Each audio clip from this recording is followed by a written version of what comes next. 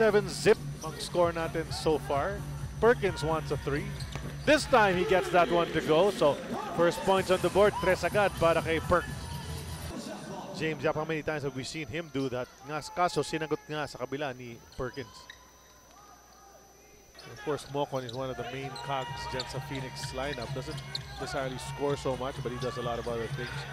Maxwell wanted it. Perkins didn't want to give it. Perkins says, I'll take it all the way. Oh, that's just too easy that time for the defense of Rain or Shine.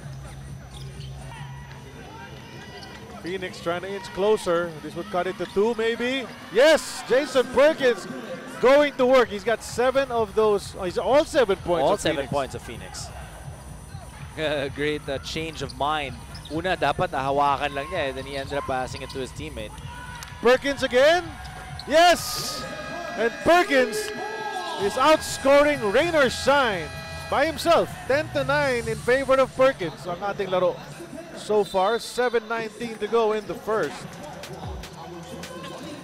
Well, we kept talking about we kept talking about uh, Rain or Shine with a good start, but even much better start than si Jason Perkins. All 10 points of Phoenix here in the first quarter coming from him. That's right. The timeout now is brought to us by Honda, its official motorcycle of the PBA.